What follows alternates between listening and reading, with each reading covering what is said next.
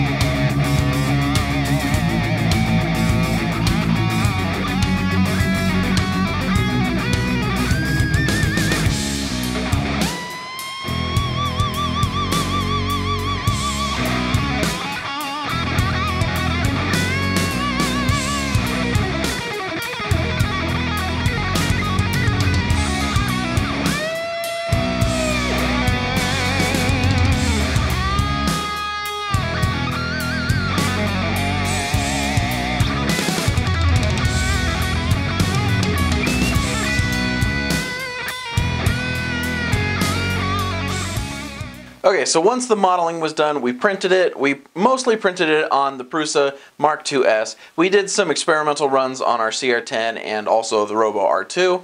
We even tried to experiment with some clear windows using some clear polysmooth and polishing it. Um, we didn't end up going with that because you could still kind of see the layer lines. They weren't bad, but we ended up going a different route, and I'll talk a little bit more about that at the end of this video. So now let's time travel once again and see Chelsey paint this thing.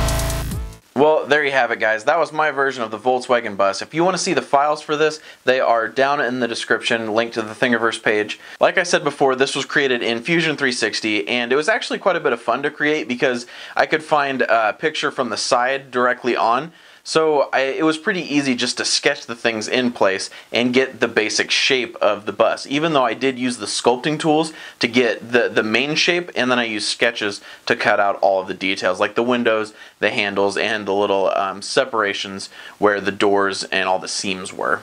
And I've never really done a vehicle before, but it is definitely something that I had wanted to try because there's a lot of people in my family that are car lovers, and so I thought it'd be a great gift for them to make like a small model of the cars that they like. I just hadn't ventured into that territory yet. So if this is something that you guys like and want to see more of and maybe even see a tutorial on, let me know down in the comments because I would be more than willing to do that type of thing.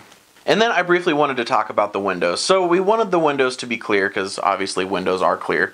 Um, and we tried the poly smooth, but like I said, there was lines. So what we ended up doing, um, this was a little bit of creativity on Chelsey's part. She works at a bakery and they have those clear little containers that they um, give out bars and cupcakes, I believe, in. So she grabbed one of those and basically just cut out the shapes so they would fit in there and then she glued them in place. So it was a super simple solution and it actually looks great. And then that's it for me guys. If you enjoyed this video, please give it a thumbs up, get subscribed below, ring that bell so you can be notified when I post new videos. It really does help us a lot. Alright guys, well thank you for watching, and until next time, keep creating.